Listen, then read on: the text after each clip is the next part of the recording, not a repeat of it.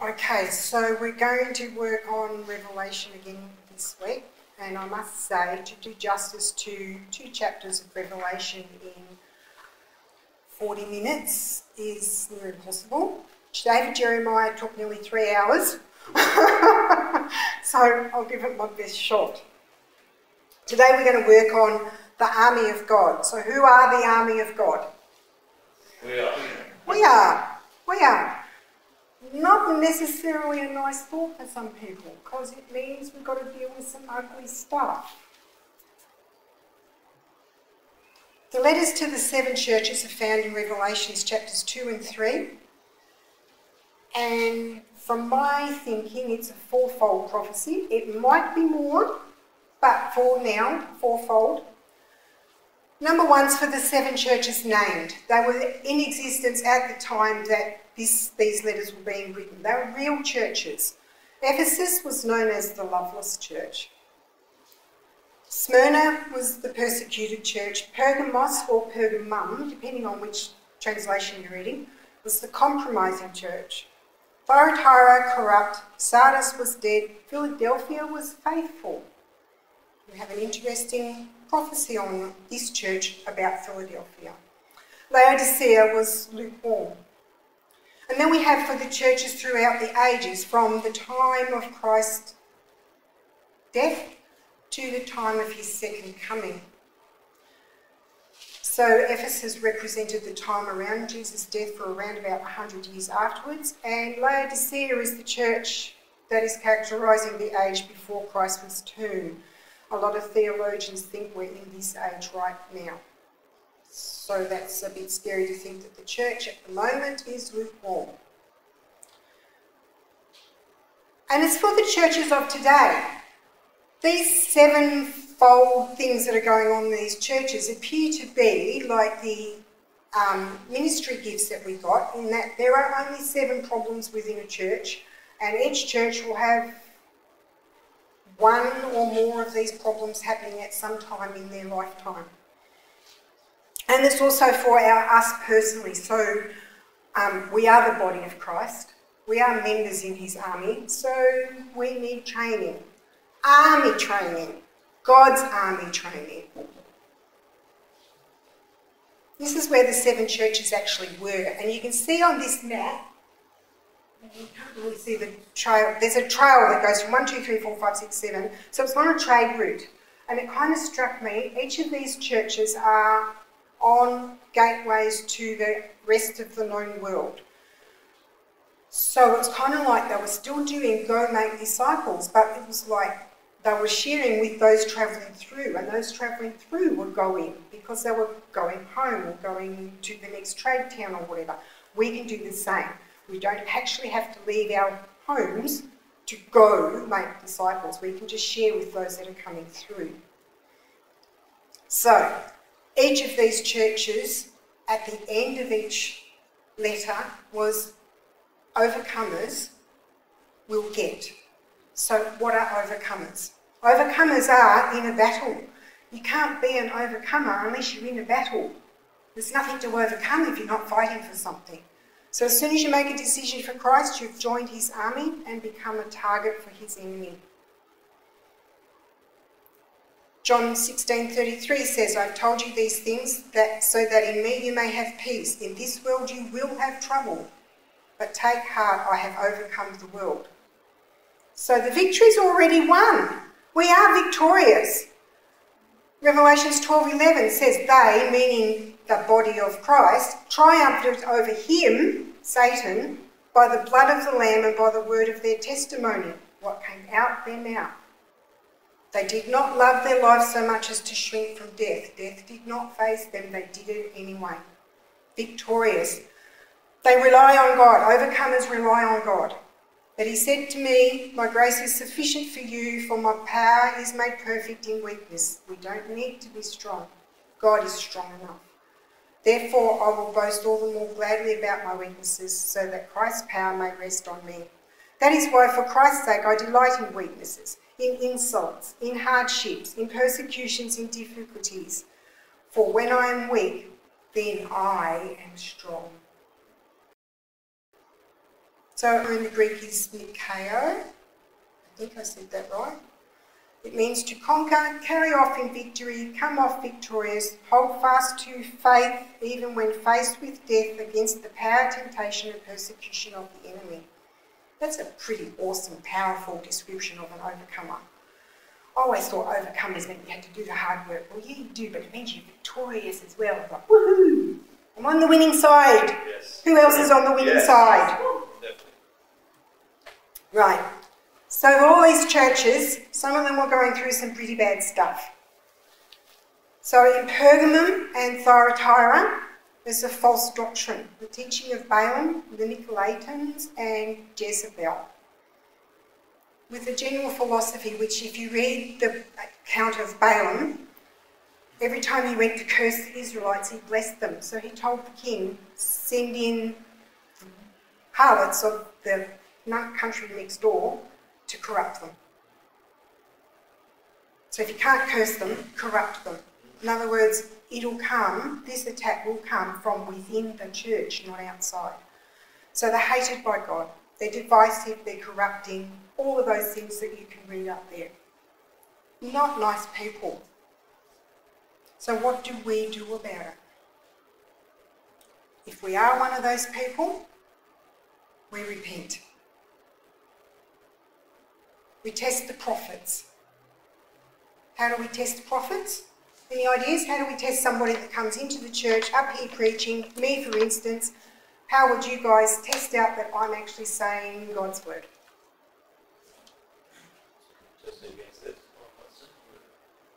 Yep, in the Bible, isn't it? Everything's got to line up with God's word. Another thing that came out in this is that they don't like to repent, especially Jezebel's spirit will not repent. They don't see the need for it. That's a good indicator, isn't it? Which makes them unteachable. But that means, oh, and also Matthew 7 says you'll recognise them by their fruit. What's going on in their lives? How are they, other people responding around them? What are they doing in other people's lives? So, who are we being influenced by? What are we bringing into our eyes, into our ears? What are we spewing out our mouth? Are we being influenced by good people, by bad people? Oh, I'm being influenced by good people. Maybe so, but are they the right people for you? There's a lot of good people out there, especially the politically correct ones. Are they the right people to influence you in God's army? Are you the right person to influence somebody else? That's the killing question, isn't it? How much does your life, your actions, your words influence somebody else? Is it a good influence or is it a right influence for God? So, an overcomer's reward for these two churches that managed to do what God asks of them and repent, or didn't hold with those doctrines to start with, was hidden manna to eat, a white stone with a new name, authority and power over the nations. So they need to recognise the corrupting influence in their church. They need to repent from allowing that influence or being that influence. Then they get to rule over the nations. Did you like my arrows? All bad stuff. Sorry. There's some bad stuff. Sardis was dead. And the scripture says, nothing they do meets the requirements of God. He couldn't even say anything good about them. Every other church has got something good about them except Sardis. What to do about it? Well, this is something I actually learnt about Revelation in the last couple of months. You think it's a mysterious book. It's got all these signs and symbols. You know, there is seven mentioned 54 times seven bowls, seven trumpets, seven angels, seven horns, seven churches. What is that all about? Well, keep reading, it tells you. So, what do we do about nothing, a dead church? What do we do about it? The very next scripture says, Wake up! Strengthen what remains and is about to die. For I found your deeds unfinished. In other words, there's still room for movement. In the sight of my God. Therefore, remember, therefore, what you have received and heard, hold it fast and repent. There's your repentance again. Overcomer's reward means clothed in white garments, named in the book of life, and your name will be spoken before God by Christ. So you will be known personally and introduced to God the Father personally. That's pretty awesome. So rouse, wake up, rouse, remember, remember what you need to do, what you receive, and repent. Laodicea was lukewarm. So much so they made God sick, seriously nauseating. I think that's even worse than him being angry or him being loving. It's like seriously nauseating. Spew you out of my mouth. And Christ was on the outside trying to get in. That's not where Christ is supposed to be in the church, is it? What to do about it? Revelations again gives us the answer. Buy from me gold refined in fire. What does it cost to buy from God? Anybody? Nothing. Costs costs you you. Does it? No material needs to pass hands. Buy from me that you may be rich and clothed well, that you may be that the shame of your nakedness may not be revealed. Anoint your eyes with salve. This city was known for its famous eye salve, so that, that was a um, thing that they knew what they were talking about.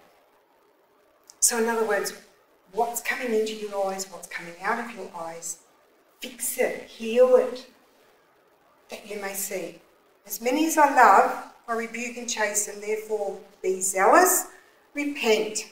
Behold, I stand at the door knock. If anyone hears my voice and opens the door, I will come in and dine with him and he with me. So the overcomer's reward for this particular one was sit beside Christ on his throne. So reclothe, get rid of those nasty garments you're wearing, repent, and then share a repast with Christ. I did well for these arms. You're going to be pressed even further later. Then we have forgotten first love for Ephesus, and we'll come back to that in a minute. And then we have some good stuff in bad places. So the church at Smyrna was persecuted, and the church at Philadelphia had to deal with a synagogue of Satan, which turns out, according to the theologians, was the temple of Zeus, so it's false god worship. Revelations 2 2 to 4. I know your deeds, your hard work, your perseverance. I know that you cannot tolerate wicked people, that you have tested those who claim to be apostles but are not, and have found them false. You have persevered and endured hardships for my name and have not grown weary. Sounds like a pretty good church, doesn't it? Yet I hold this against you. You have forsaken the love you had at first from its place. So even though this church was doing all the good things, having lovely outreach, having lovely fellowship, sticking with it, dealing with any persecution that came their way, God was telling them, You're getting it wrong. You need to love me. You need to love me. Matthew 7 says, Not everyone who says to me, Lord, Lord, will enter the kingdom of heaven. 1 Corinthians 13:1 says, Though I speak with the tongues of men and angels, but have not love, I have become sounding brass or clanging gong. Love is important. So, what do we do about it? Consider how far you've fallen Repent and do the things you did at first. If you do not repent, I will come and remove your lampstand. What is the lampstand? It actually tells you a bit in chapter 1. The lampstand is the church. If you don't get this right, the church will be removed. And it seems that Ephesus was having this problem because we know the book of Ephesians was written to the same church that this letter was written to. And they were expounded for the love they had for one another and the love they had for God. Now, just a few years later, they're losing it. And Ephesus, in the age of history, only lasted for 100 years. So, shortly after this letter was written, they no longer existed as a church. So, remember where you came from as far as loving God is concerned. Repent of being indifferent to God and repeat what you used to do. So, here come my R's. Are you ready? Are you? Remembering how my relationship with Christ was brings repentance and begins reconciliation. Renewing my commitment to prioritise my relationship with Christ and repeating what I once did will rekindle the passion. Reluctance to do this will result in my removal from His army. How scary is that, really, when it comes down to it? So let's deal with the scary, shall we? What did you do when you first fell in love? Tiani, what did you do when you first fell in love with Gary? Well, to spend all my time with him. Uh huh. What about you, Liam and Shakira? What did you do when you first fell in love? We're just in constant communication. So. What about you, Chris and Maurice? So what did you do? How did Maurice know you were in love with her? And Maurice, what about you?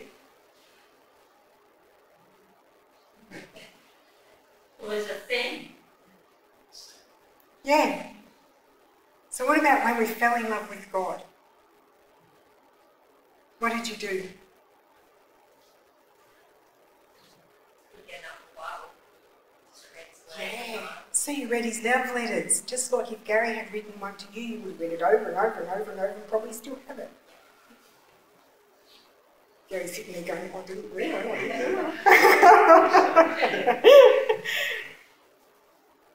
so that's what we do, isn't it? We talk to each other, we spend our time together, we communicate, we really we we read love letters. What did you do with other people? Say, when you started courting and you got engaged, what did you do then? Did you tell anybody? Did you tell everybody? You had a party. Did we do the same with when we become saved? Did we become really enthusiastic and evangelize other people, even if your evangelism was slightly left of centre? We did, didn't we? So that was our first love. Are we still doing all that stuff? With our partners and stuff, are we still doing that stuff? Or do kids get in the way? Or does work get in the way? Or at the end of the day, you're so tired you haven't even got the energy to spend time together? How many marriages break up because of lack of time together? That communication is gone. That constant talking to each other is gone. It's possible to resurrect a marriage using these principles just as the same as it's possible to resurrect our relationship with Christ.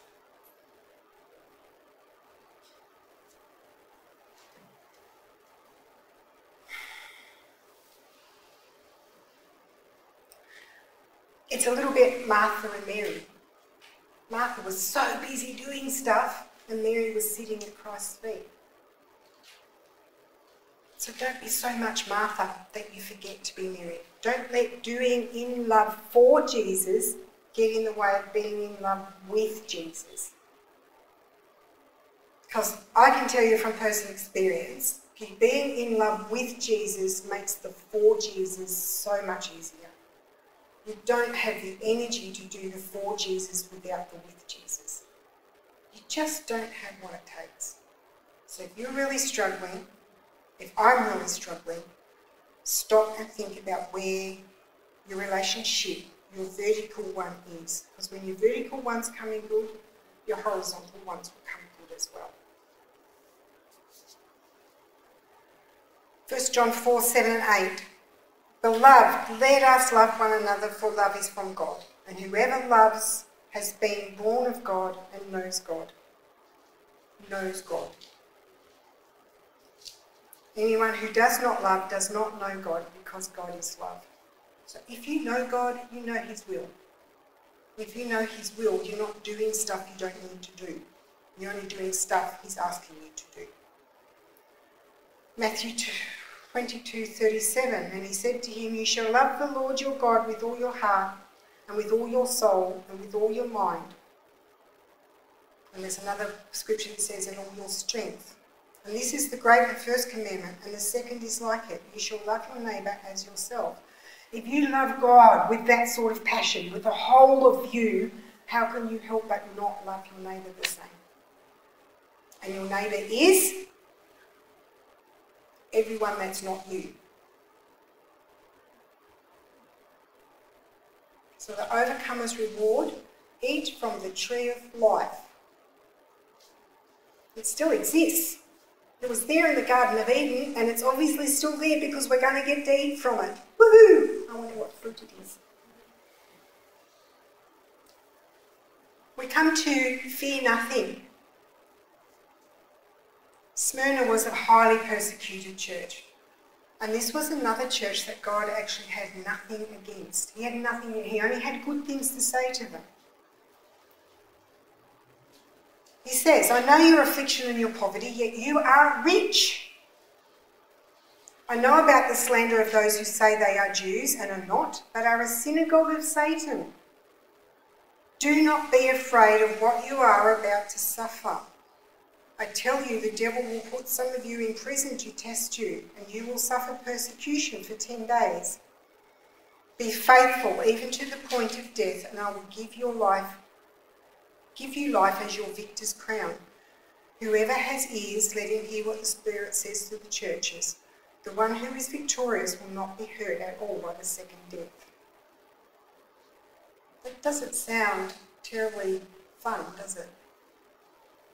And possibly in this country we're fortunate we're not going to be in this position, but somewhere in the world there is a church that is going through this right now. You saw that map up of all the cities of that were written, the seven letters were written to. It was in modern day Turkey. 2% of the population is Christian. Those churches that these letters were written to exist, but the churches in that country go through this sort of rubbish.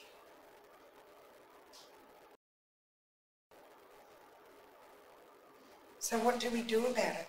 We here in this place can only pray we can pray that those people will be strengthened by God.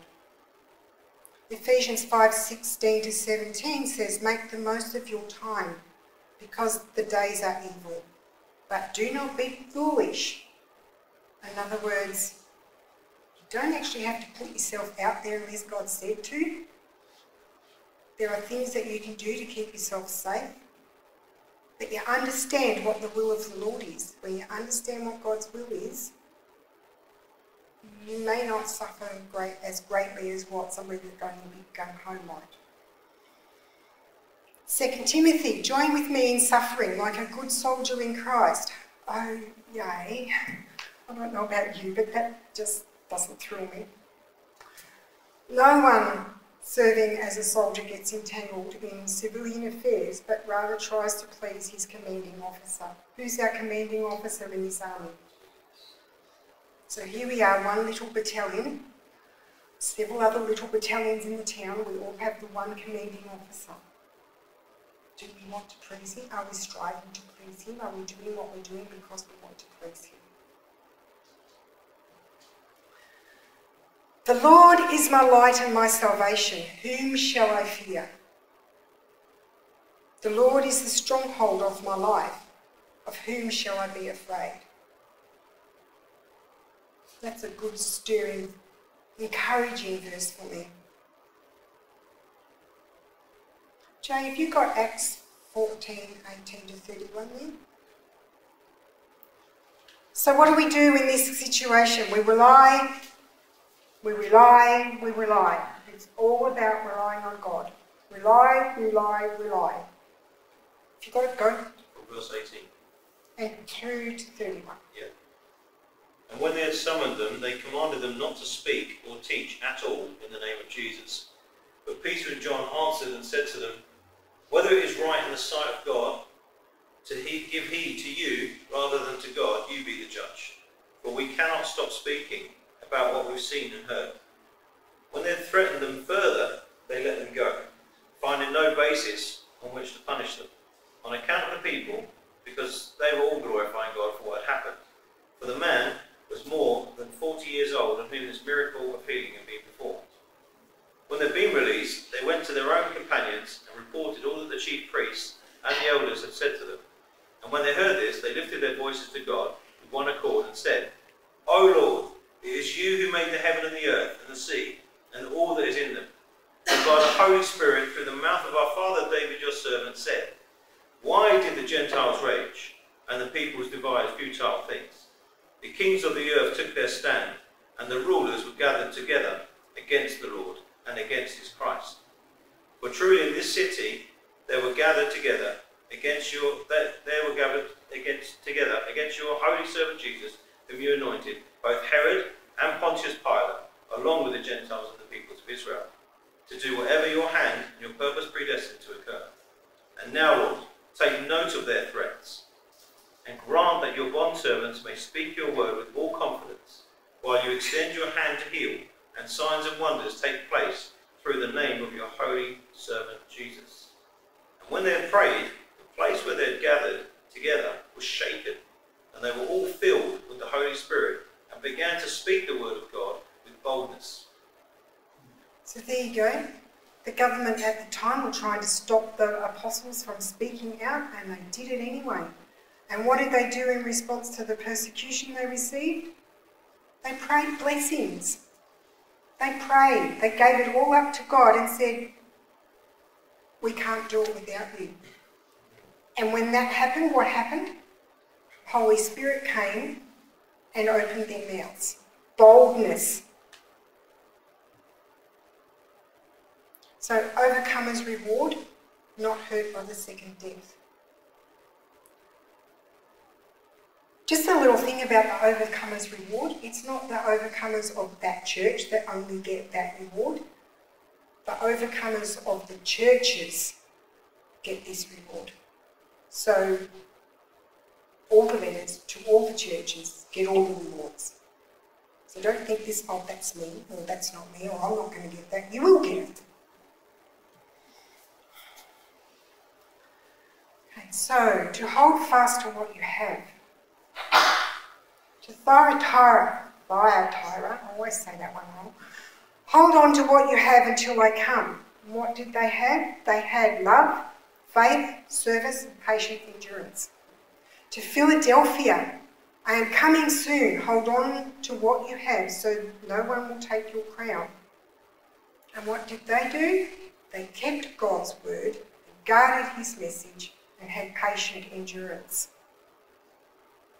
Just a short time ago, Prashan spoke a prophecy to Jay over this church that we were the Church of Philadelphia.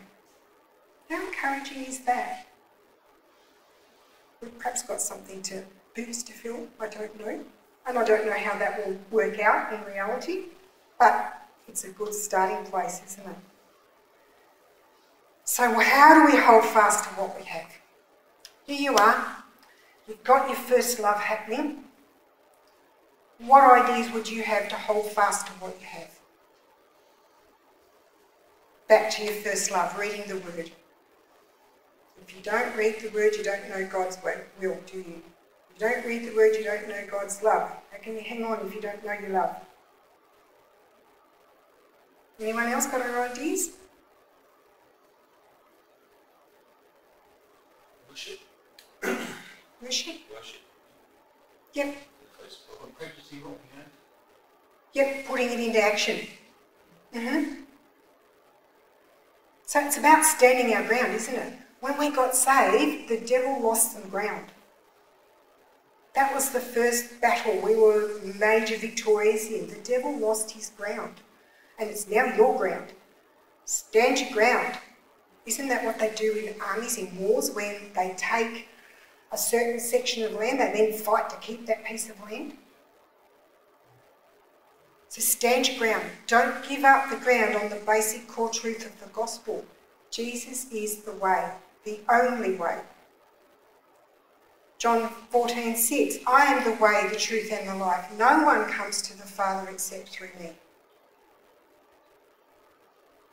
Salvation is found in no one else, for there's no other name under heaven given to mankind by which we must be saved. Hold, let us hold unswervingly to the hope we profess, for he who promised is faithful. How do we know God's promises? We read the Word. We read his love letters.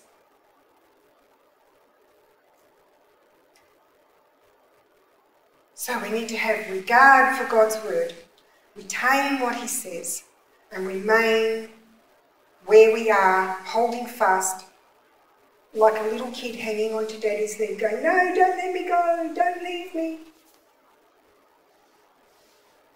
The overcomer's reward, this one is massive. Pillar in the sanctuary. It reminded me when somebody is a pillar of the community, they're hugely well respected. Their funerals are usually thousands of people in a big area. It's like they are the movers and groovers of getting things done in the community. So pillar in the sanctuary and you never have to leave.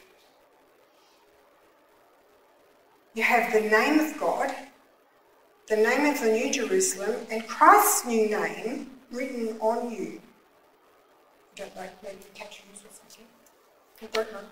But I thought, Christ's new name. I guess when he comes back, he's no longer the Messiah, so he's got to have a new name, doesn't he? it's like, okay, that's the new one on me. He's going to change his name. He will no longer be Christ, he'll be something else. So, new name.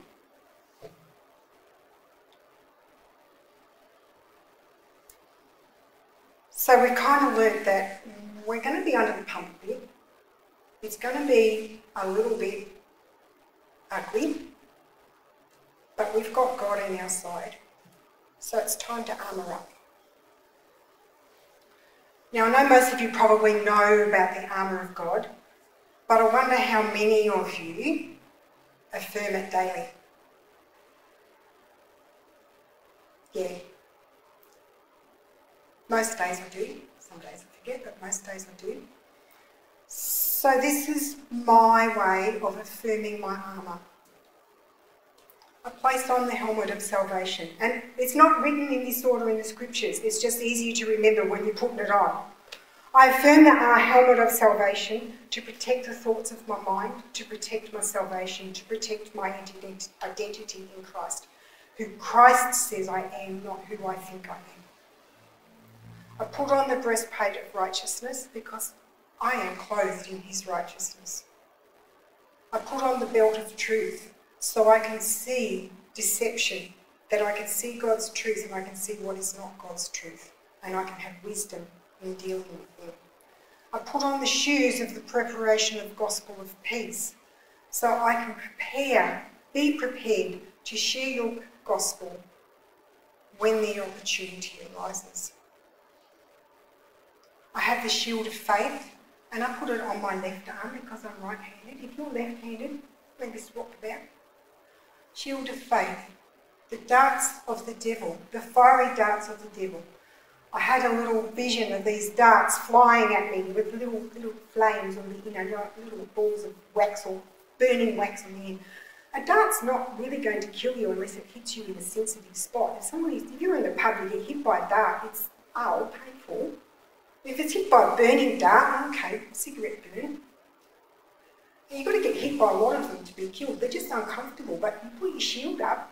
And a Roman shield was full length. It's not just this little thing on your arm, it's like full length. You can hide behind it. piff, piff, piff, you can hear them clanging away, whatever. Mm-hmm. Sword of the Spirit. It's an offensive and a defensive weapon. You can use it to defend yourself, you can use it to keep the enemy away, not just from you, but your family as well. And we are each other's family. I also add, oh, praying constant things. This is a reminder every day. Every day, pray constantly in all things. It is part of your armour. It is the war room. If you don't know what God's will is for you in that day, pop into the war room because that's where He is. Garment of praise. Isaiah 61. Garment of praise instead of the spirit of heaviness or despair. Some of us have depression issues. The best way to get rid of them or to suppress them is lift up your voice in praise and worship. Banner set before you. Psalm 60. I have set up a banner for those who fear you with awe-inspiring reverence and submissive wonder, a banner to shield them from attack, a banner that may display because of the truth. When you look at medieval-based movies and you've got this army heading into battle, there's always a rider out front, and most of the time they're on horses because it's medieval. There's a rider out front that's got a flag. He doesn't have any weaponry on him. It's a flag set into his saddle and he's holding it upright. The army behind him, and that person is the standard bearer beside the commanding officer, the army behind him will follow that flag wherever it goes. Christ is our banner, Jehovah Nissi. We need to follow him wherever he goes, like the cloud of smoke in the wilderness. Follow him wherever he goes. The glory of God at your rear. Isaiah 58:8. The light and your light will break forth like the dawn, and your healing will quickly appear. Then your righteousness will go before you, and the glory of the Lord will be your rear guard. God has got your back. Christ is before you. You're fully armoured up. God's glory behind you. If God is for you,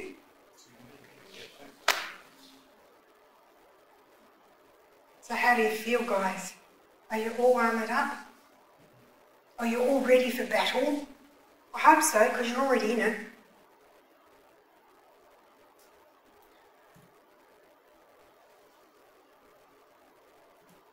I was trying to think of lots of R's to finish this, but I haven't got any. so, make reconciliation.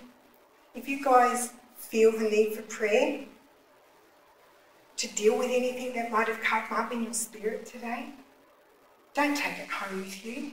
Come forward. Jay, me, somebody will pray for you, with you. Okay, let's pray. Father God, we thank you for being our Commander in Chief, for always being available in our war room of prayer. And Father, we thank you for the the good things that a church is doing and the warnings for, to be aware of in what a church shouldn't be doing. And Father, we ask that if there's anything in our hearts and in our minds and in this body, that you could point it out to the appropriate people and it can be dealt with. Father God, we just praise you for all the things you've done for us. We praise you for allowing us to be victorious with you. We praise you for the tree of life, the crown, the um, temple of yours, for all the rewards you would give us for being overcomers. Lord, we just pray that you give us strength and wisdom so that we may overcome for the battle that's ready to come. That you may open our eyes for the things that we need to do on a practical level in the future. And Lord, we just thank you for all of these things in Jesus' name. Amen.